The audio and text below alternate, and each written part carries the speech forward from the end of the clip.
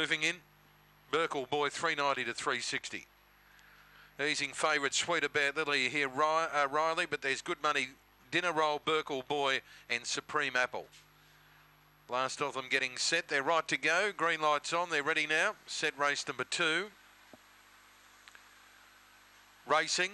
Sweet about Lily, fair to go. Winning the start, Cyclone Zara, dinner roll. Coming out hard, Supreme Apple. On the rail, Sweet about Lily, Lumen, Scar, Burkle Boy, Vern Bale, Big Bad Buck. Off the back, Cyclone Zara went out by two lengths, Supreme Apple.